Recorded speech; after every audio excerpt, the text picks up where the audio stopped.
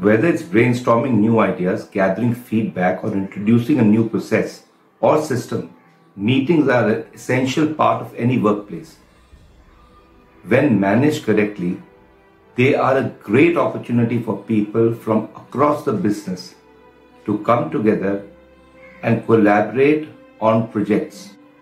Conversely, if they are poorly run, they can become unfocused and, unproductive and waste time.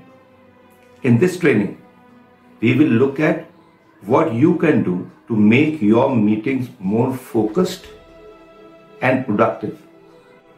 In particular, we will provide you with a step by step guide to running effective meetings, tips on how you can add value to meetings when you are a participant and help to set up guidelines that will improve meeting etiquettes in your organization.